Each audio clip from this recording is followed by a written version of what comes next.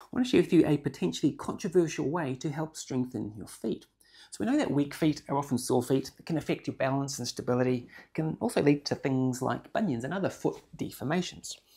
So we know that exercising is important and we should be doing some exercises and there's a ton of exercises you can do to help improve the strength of your feet.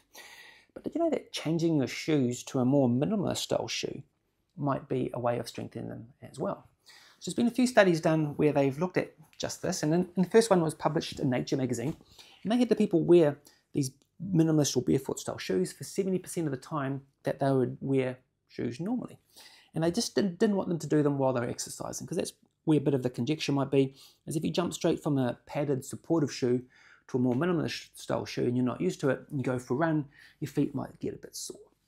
So in the study, they had these people wear their shoes 70% of the time, and after six months, they had a 57.4% improvement in their foot strength. Another study here did the same thing, but in after eight weeks, they had a 41% improvement in foot strength by doing nothing different apart from changing the shoes that they were wearing. So if you want to get more functional, more stronger feet, maybe switching to a more minimalist style shoe is going to be a good option for you. And if you, if you think about it, if we wore these minimalist style shoes along with doing some appropriate foot exercises, I think we're going to be in an even better spot.